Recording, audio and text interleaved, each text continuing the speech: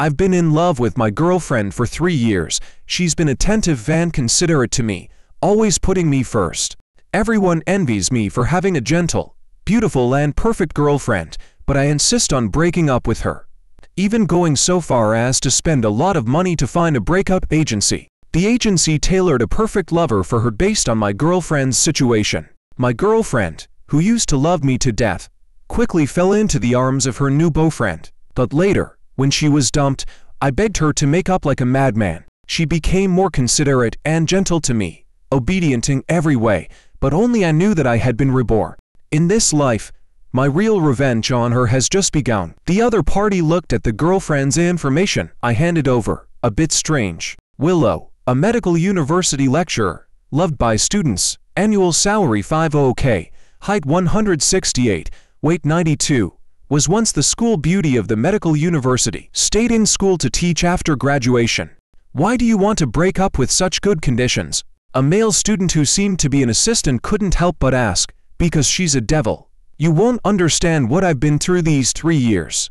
I was hysterical, wishing I could pour out all the grievances of the past three years. That the ringing of a phone call and the name displayed on it made me jump like a frightened bird. I hurriedly answered, indicating that I was already on my way and would be home in 20 minutes. After hanging up the phone, I looked at them again, insisting that they must help me.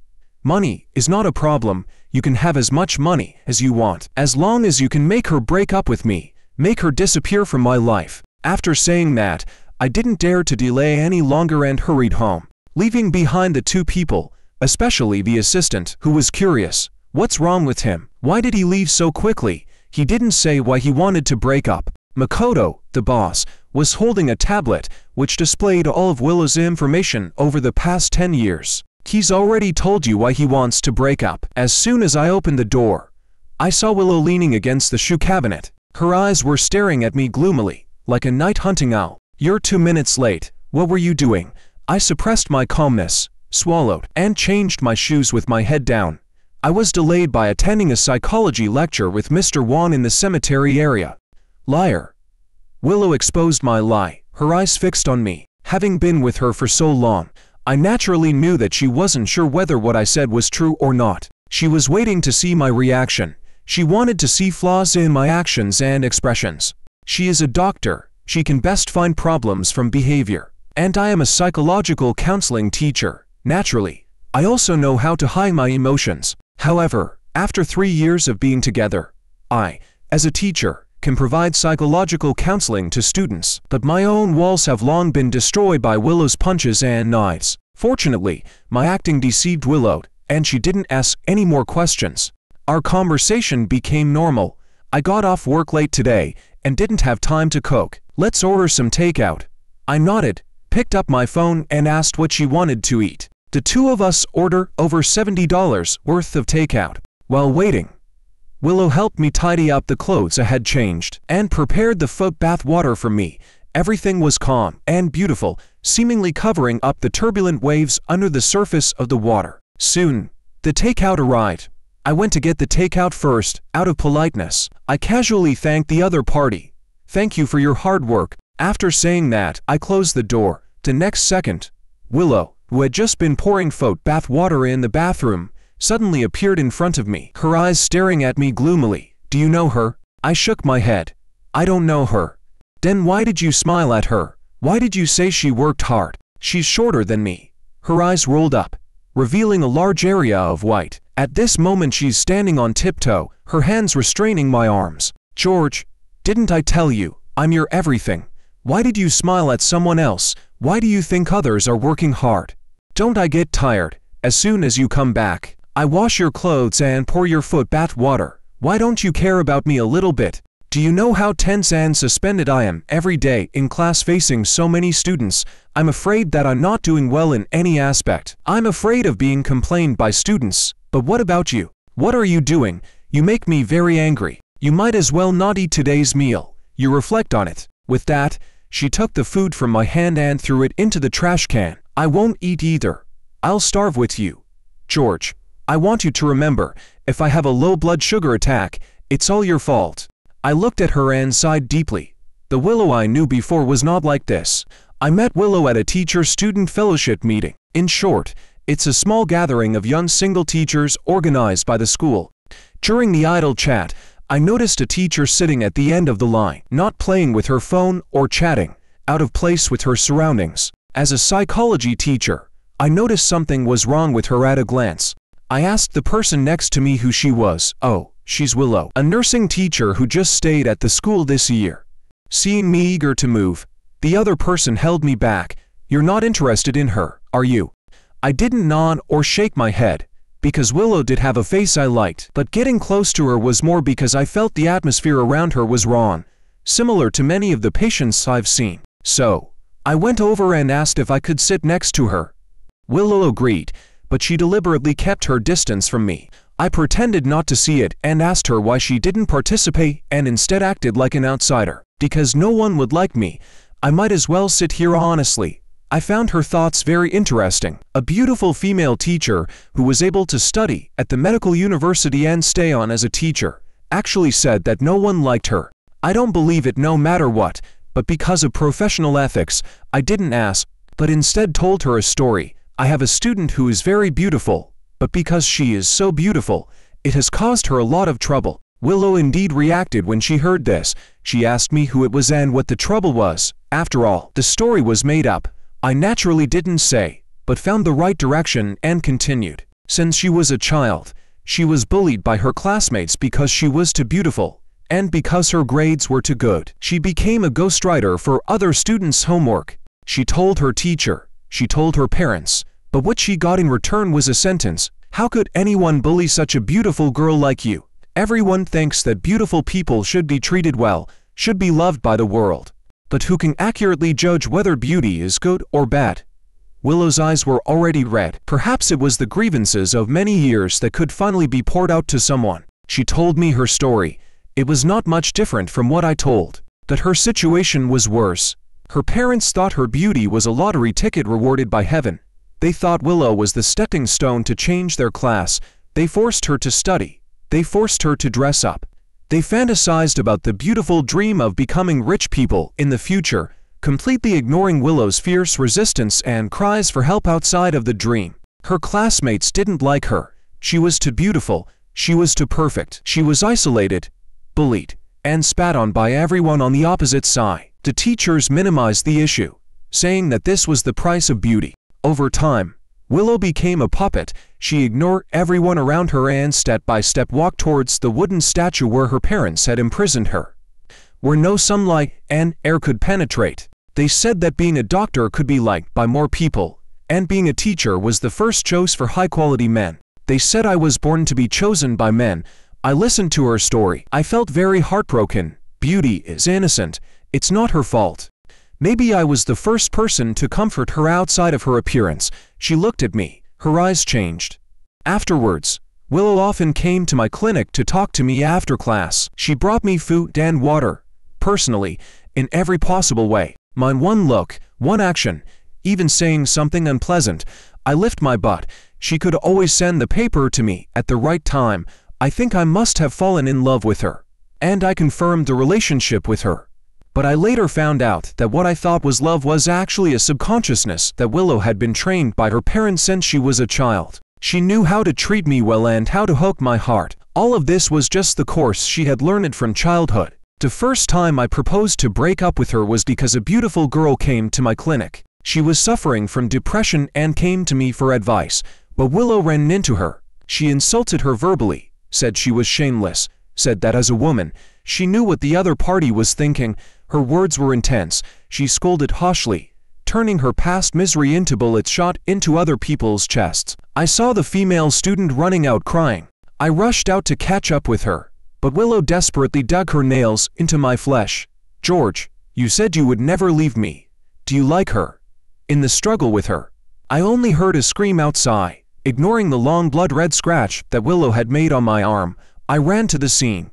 It turned out that the girl just now, stimulated by Willow, wanted to jump off the building. Fortunately, her clothes were hooked by the steel bars on the guardrail that hadn't been polished yet, and a life was saved. Afterwards, I apologized to the female student, but she didn't say anything and dropped out of school. I heard she went home for recuperation. I found Willow, hoping she could apologize to the girl too, but Willow refused.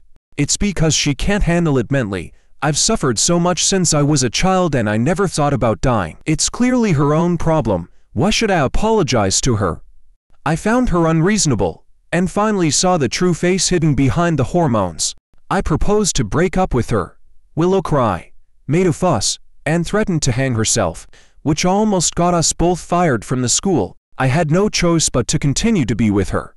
But because of the previous lesson, Willow forcibly moved in with me and forcibly forced us to meet our parents. I still remember when we parted with our parents. Willow hugged my arm and smiled terribly.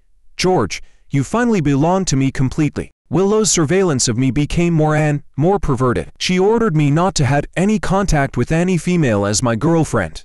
Even if I expressed kindness to the same sex, she could still throw a tantrum. She said that her students were homosexual.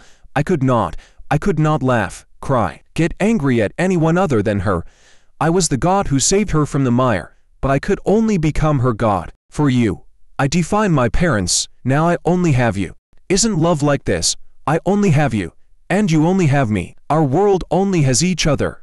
I was taken aback by her words. But I always thought that Willow was just sick. I could cure her. I was professional. But I was too naive. Willow didn't think she was sick at all. She thought I didn't love her enough. I didn't cut off social interactions and refuse all friends for her. Why should I please them when they don't like me? They all say I'm crazy, I'm perverted. What right do they have to let me approach them? George, I'm only good to you. I only care about you. Isn't that enough? Every minute and every second I was with her, I felt so suffocated. I no longer felt like myself. I could no longer provide psychological counseling to students. I felt like I was sick. I can't let Willow's views hit my defenses anymore. I propose to break up with her again. This time, Willow stepped over the balcony, with a seven-story building behind her. George, say it again. Believe it or not, I'll jump from here. I thought she wouldn't dare, but when I saw her let go and jump down, my heart was in my throat, as if I had already seen the days of the rest of my life spent on a sewing machine. But fortunately, the people on the fifth floor built a shed outside their balcony at their own expense, and my girlfriend fell on it and rolled around, just falling on their balcony. She didn't lose her life, but she had a lot of injuries. Because of this, my parents asked me not to stimulate Willow anymore, saying to endure it for a lifetime. Who made me provoke her in the first place? Willow's parents saw Willow's forehead scratch, and they also started to ignore her, feeling that the daughter they had carefully cultivated had no use value and planned to raise a second child, and I was completely tied to Willow. But there is always a little hope in my heart. My life can't just be like this. It can't be ruined like this. Finally, I found an opportunity. By chance, I heard about a firm that can help couples break up. I found them. I hope they can help me get out. Willow kept talking. She sat on the sofa and wouldn't let me go back to my room to sleep. She wanted me to see with my own eyes her hypoglycemia occurrence to make me feel guilty. 11 o'clock at night, Willow finally couldn't hold on. She gasped in front of me, clutching her clothes at her chest and falling on the sofa. I was anxiously looking for glucose in the drawer, sugar in the kitchen, and anything that could help her relieve it. But there was nothing. In order to make me realize my mistake, she threatened with her own life and threw away everything. I was anxious and called for help. Soon, the sound of an ambulance siren rang downstairs, and two paramedics came upstairs. I was in a hurry to carry Willow on my back, but one of them stopped me. I looked up at him, somewhat surprised. It was him, the guy from the firm. He took Willow from me, held her in his arms, and told me to follow him. We got to the hospital. Makoto transformed and took care of Willow closely. He told me not to interfere with what he was going to do next, and if necessary, he would find me to cooperate with the plot. I nodded in agreement. I sat by the hospital bed, looking at Willow, who was gradually waking up. Thinking of the reminder Makoto gave me just now, I took a deep breath. Willow, why did you let another man hold you? Do you know? When you were unconscious, you were holding another man and wouldn't let go. You really disappointed me.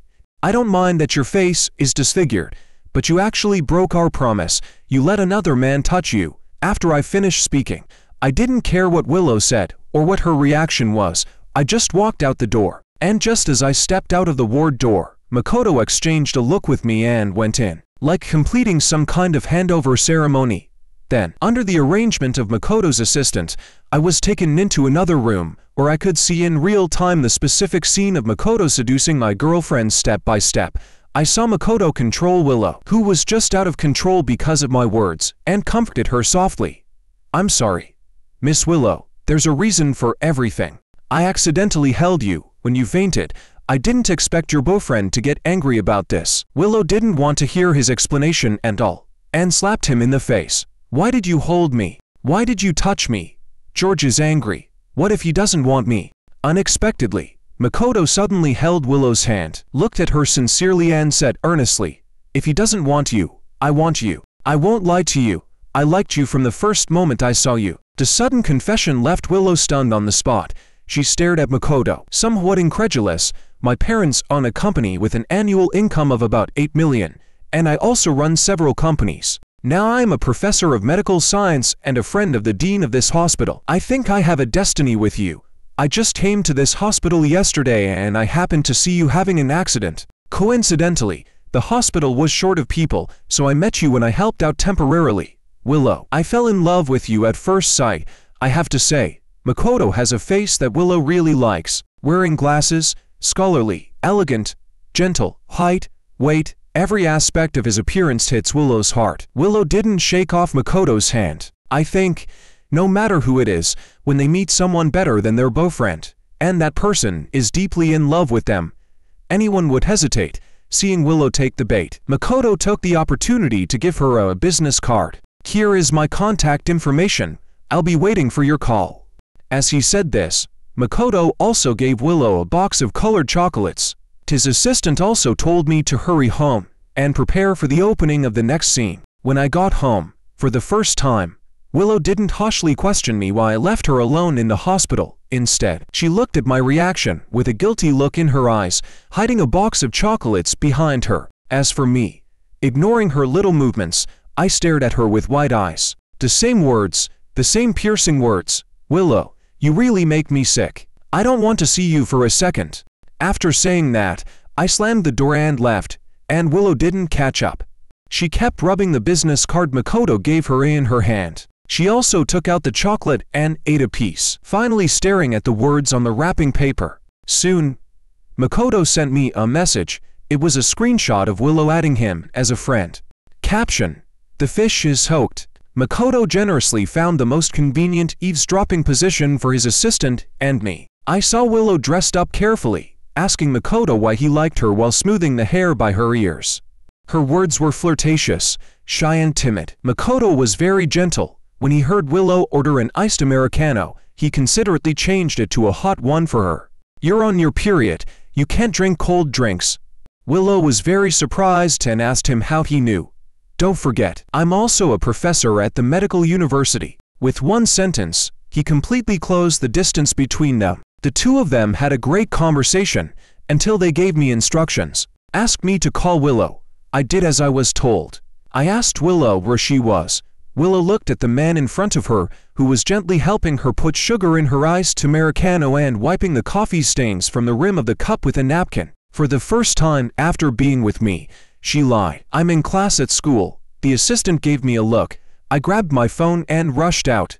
Without hesitation, I slapped Willow. It seemed that I was going to vent all the frustrations of the past three years. Willow was slapped and turned her face. She was about to say something but stopped when she saw me. Willow, you're really shameless. You ruined my life, but you're here hooking up with other men. Because of you. Because of your abnormal control. I have no friends, no family. Only you are by my side. I gave up everything for you. But what about you? What are you doing? You lied to me that you were in class, but you were drinking coffee with another man. The anger in my heart has been accumulating for too long. I have forgotten the scripted lines. I just wanted to take this opportunity to vent all the pent-up anger in my heart. Willow was in the wrong. And for the first time, I stood my ground in front of her.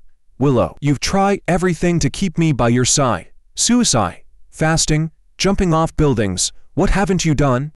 Even when my parents came to see me, you had to criticize them. You said that only you and I are family. You said that you gave up your own family and parents for me, asked me to cut off relations with my parents. I did as you said. I listened to you in everything. But what are you doing now? You've ruined me. I have nothing left. And you're here looking for men. In my excitement, I wanted to say more, but I saw Makoto come over and hold Willow, and he deliberately bumped into me from behind to sober me up. At this point, because of my sudden intrusion and intense words, many people had gathered around to watch the excitement, trying to find the truth of the gossip from my words. I steadied my emotions and said, Once, I pulled you out of the smoke, you said I was a ray of light in your life, that I saved you. But what about you? You're afraid of the dark. You pulled me into the abyss by any means. I accompanied you to sink, but you left me. After saying that, I covered my face and cried, trying my best to portray myself as a victim. The onlookers were pointing and commenting. They were all criticizing Willow. Willow fears this kind of gaze. She fears being the center of public opinion. I once pulled her out, now I have to let her fall deep into it again. To get rid of her divine status, the voices of discussion were like invisible white threads wrapping around, forming a huge cocoon. I saw Willow's shoulders shaking violently, her breathing becoming rapid. It's me who pursued Miss Willow. She has nothing to do with it. Makoto stepped forward, covering Willow's ears with both hands. Nose was blocked out, and Willow looked up at Makoto, who seemed like a god descending, and a surge of love suddenly burst from her trembling eyes. I suddenly remembered what Makoto had told me. Willow is like a rootless duckweed, a bird without legs. She won't care who saves her, as long as she can be saved. She will hold on tightly. You think she can't live without you, but in fact, she can also choose. She can also choose the best. This is related to the subtle influence she has received since childhood. Now, I believe it. It's also time to exit, since you've fallen in love with another man. Let's break out. I was finally able to say this sentence again, and the answer was already agreed when Willow didn't catch up. When I went to the office to pay the final payment, the assistant told me that Makoto and Willow had already moved in together. Does your service also include sacrificing yourself? Or did Makoto really fall in love with Willow? The assistant shook her head. We're just ensuring your follow-up. From the assistant, I learn it. From the first day Makoto and Willow moved in together, he strictly forbade Willow to communicate with any man. Even when Willow's students called to discuss issues, Makoto would grab the phone and slam hard on the ground. Don't think I don't know about teacher-student love. Why don't students ask questions in class? Why do they have to ask now? Why does a teacher have a student's contact information? Don't think I don't know what you're thinking. Makoto treated Willow the way Willow had treated me. Even when Willow carpooled and sat with men, Makoto could find out. And when he got home he would either throw pillows or smash cups. Why do you have to ride in a car with a man? Why didn't you get out of the car when there was a man in it?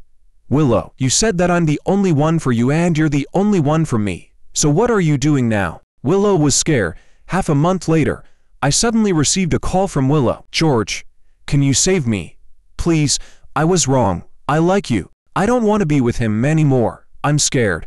I'm on edge every day. He doesn't love me at all. But soon, my phone was snatched away by the man next to me. Willow, why are you hiding from me?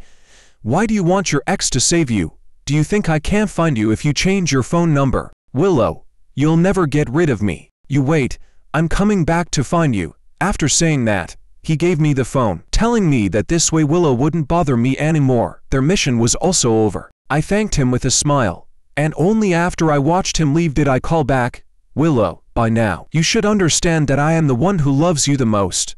I'm someone who's already died once. In my previous life, I was quite and mentally controlled by Willow, and was forced to jump off a building. When I woke up again, I was back to a month before I jumped. I didn't know what this time period meant to me, until I saw the message about the breakup agency on some platform.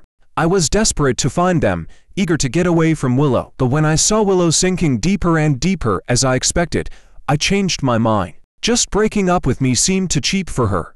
She ruined me, leaving me with nothing and even called me a coward before I died. Not a single friend or family member mourned for me, and my parents had cut ties with me early on, fearing that they would be held responsible if anything happened to Willow, a person who bound me with her misery. It seemed that my punishment for her was merely to set her free. I'm not a kind person. I've already lost one life because of her.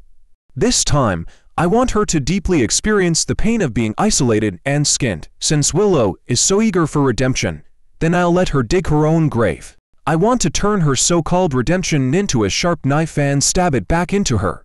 Willow once again put all her focus on me but unlike the last time, having experienced loss twice, her desire is much stronger. She began to fear my departure. She no longer dared to question me when I went out, and when I greeted others, she would just lower her head as if she hadn't seen it.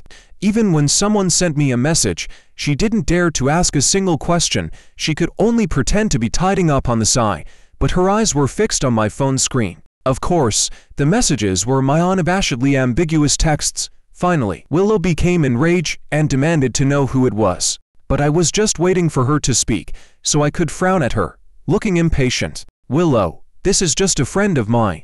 You don't even trust me in this. The one who betrayed us was not me. Do you think everyone is like you? If you keep going like this, I don't think we need to continue together. Sure enough, after my threats, Willow didn't dare to bring up those topics with me anymore. On the contrary, every time she replied to a message, I would mock her coldly, asking if it was another message from a. Every time she went out, I would call her within 10 minutes to check on her, questioning if she was working overtime with some pretty boy again. Even though many times I knew she couldn't answer, so much so that later on, she would be scared and panicked whenever she heard a message or a phone ring. I treated her the way she used to treat me, but I was gentler than the original Makoto. Every time Willow couldn't take it anymore, I would sincerely apologize to her. I'm sorry, I just love you too much, I'm really afraid of losing you. I'm afraid you'll leave me. You once deceived me because of a man and left me. I'm scared. I'm really scared. Willow, you always say you love me, so why do you deceive me? The reason I've become like this is because you force me, isn't it? I'm sorry, Willow but you should know by now that I love you the most in this world. After several times, Willow eventually chose to accept it and indulge in it. I watched her struggle daily in so-called love, yet not daring to object, and felt a strong satisfaction. Until in the end, when she didn't dare to speak even when she saw me deliberately letting her see me pulling and tugging with others, I knew my plan was almost successful. When I got home, Willow didn't dare to bring up the day's events, and even put on a sexy dress she had never worn before. When she saw me coming back, she immediately pounced on me and hugged me. George, let's have a child. I wasn't surprised by Willow's idea. In fact, it was inevitable. She now has no excuse to bind me, even if we go back to being lovers. So she was very eager for intimacy with me, wanting to prove our lingering feelings in this matter. Moreover, under my continuous hints, she wasn't sure that I would definitely not leave her. Plus her lack of security, any little movement would become a huge wave in her eyes. She urgently needs something that can permanently bind me. That's a child, but I don't need it, and it's impossible for me to sleep with her. So I directly rejected her, but Willow broke down. She tore at her hair violently, her expression shattered. Why? Why? What does that vixen have that I don't? Why won't you have a child with me? Don't you love me? She was screaming hysterically, as if that was the only way she could vent her dissatisfaction. Her originally exquisite makeup was now smudged by her tears, and the straps of her already skimpy dress were about to fall off. I trying my best to suppress my emotions, so as not to laugh out loud.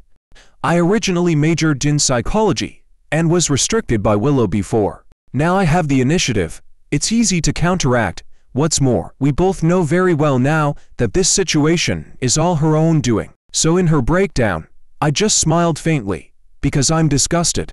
In Willow's incredulous eyes, I continued to speak. Willow, do you know, when I saw you in this dress, my first reaction was not how beautiful and good-looking you are, but wondering if you had played like this with that man, if you had worn this before. Can you guarantee that you've never done that kind of thing with him? Willow, what I want is a love that is pure from heart to body. I broke off relations with my parents for you. Lost all my friends and family for you, but all I got was your betrayal. You betrayed our love. You don't deserve redemption. Every time you try to please me, I become more suspicious. So don't do this anymore.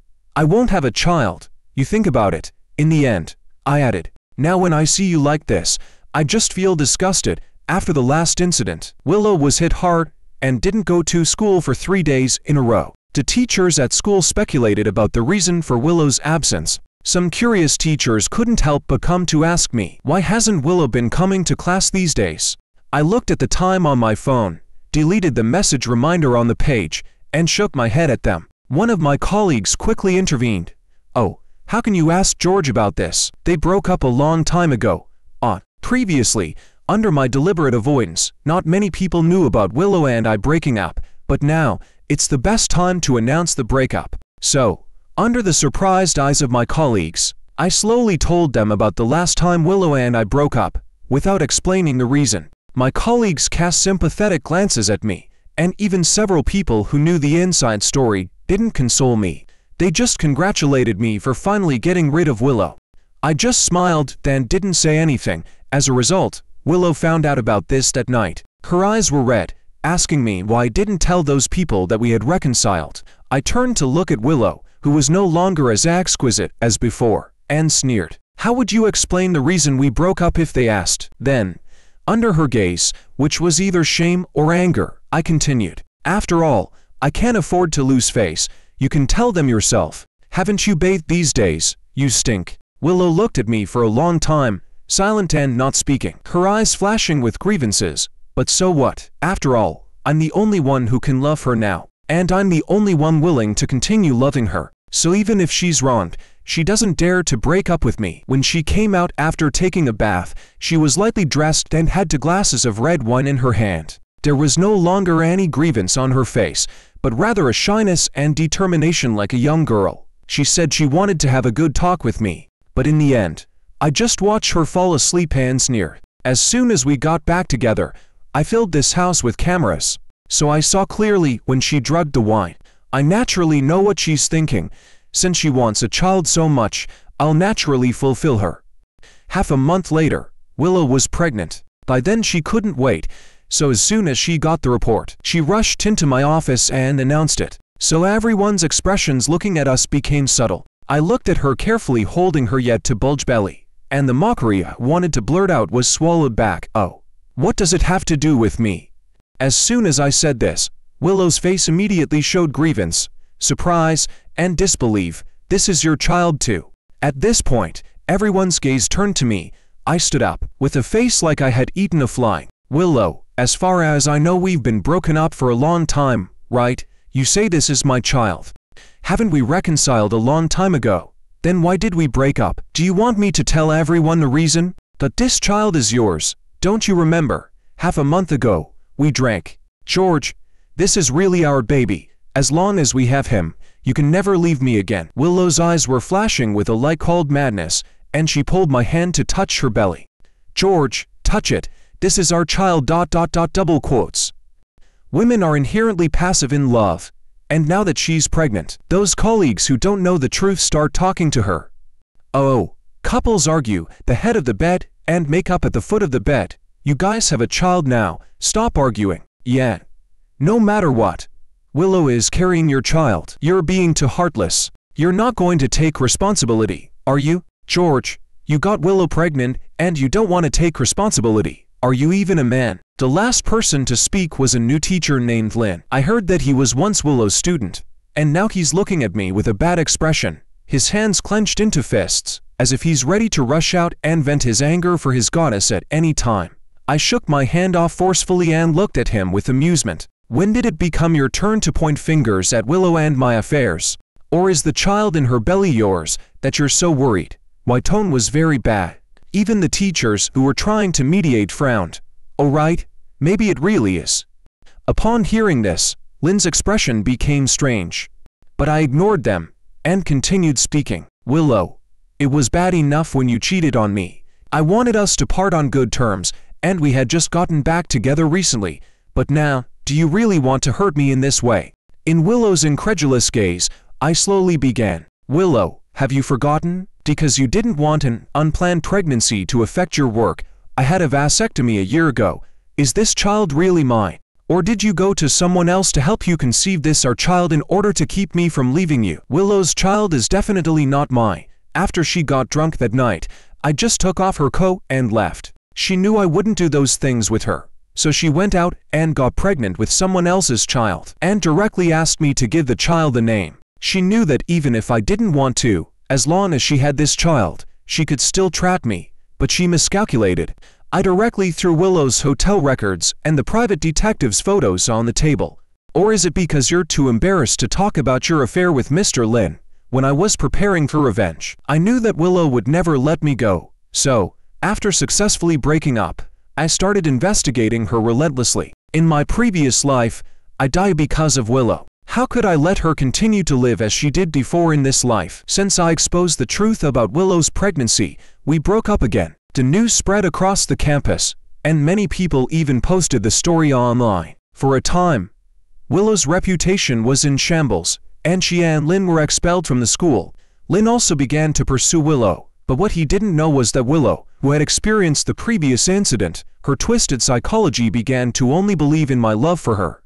She saw me as the only light to save her from the darkness, so even if she had Lin's pursuit, she was also trying her best to ask me to get back together. Seeing that I ignored her, her methods became more and more radical, even to the point of stalking at night, and the last time she scared a teacher who was on the same path as me. Until finally, she stood on the rooftop of the school, begging me to see her.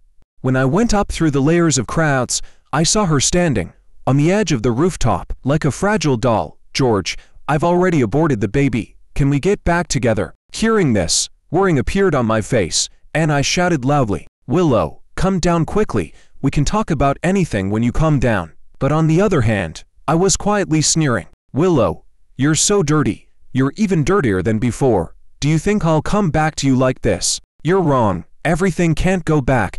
Why do you have to treat me like this? You've hurt me, who loved you the most, so thoroughly. You'll never have someone who loves you like this again. Willow, just stay in that dark and disgusting swamp. Willow, you make me sick. You might as well die. Willow's expression collapsed. She squatted down and cried. George, I know I've wronged you. I don't want to go back to that dark place. I don't want to. I looked at Willow in front of me with cold eyes, pretending to be anxious on my face. Can you come down first? Can you come down first? The Willow just looked at me, turned around, and jumped down amidst the screams of the crowd. Willow is dead. I was taken away by the police who rushed over. The Willow jumped off the building under everyone's gaze, and there was surveillance to testify, so I just easily made a record.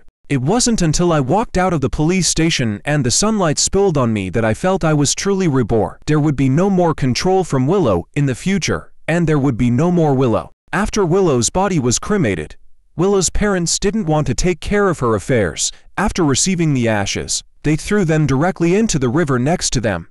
Willow no longer exists in this world. After her death, the chat records and videos of her control over me were exposed, causing another storm on the internet. It's a pity she can't see it. In this matter, I am considered a victim. To compensate me, the school even gave me a month's holiday. I took advantage of the holiday to travel and truly felt the beauty of being alive. From then on, my life no longer had any perverted control and possession. What I have is just a bright future.